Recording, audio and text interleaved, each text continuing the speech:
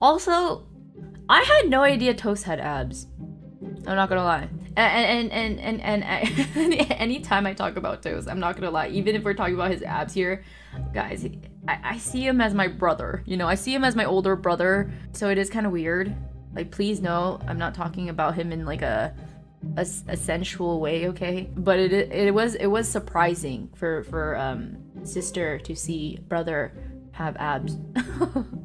No, no, no, no, no, not brother complex type of brother. No, we don't know. First of all, let's get this clear. I no longer have that complex, okay? Guys, the brother complex, by the way, also was a thing for my friends' brothers, not my own brother.